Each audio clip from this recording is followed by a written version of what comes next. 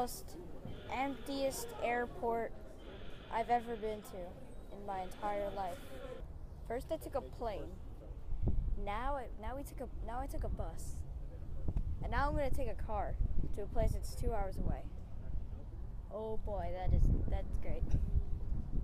But I'm so look the sun. Uh, I can now take off my sweatshirt and actually wear a short sleeve where I'm actually can. Yay.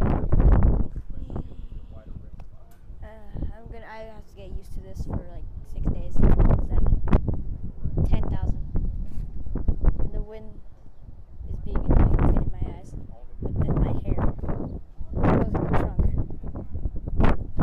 God dang it, hair. God dang it. Hello. I'm so tired from going to where places I've been going. I'll show you guys tomorrow. I'm, plugging my charger as you can see.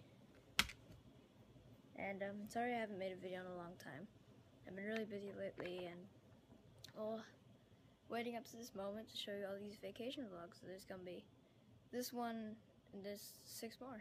No, five more after this, so yay. It's a kind of really short video, but there's gonna be a lot more more, a lot more cool stuff, a lot more awesome stuff. I'm waving my charger around, stuff like that.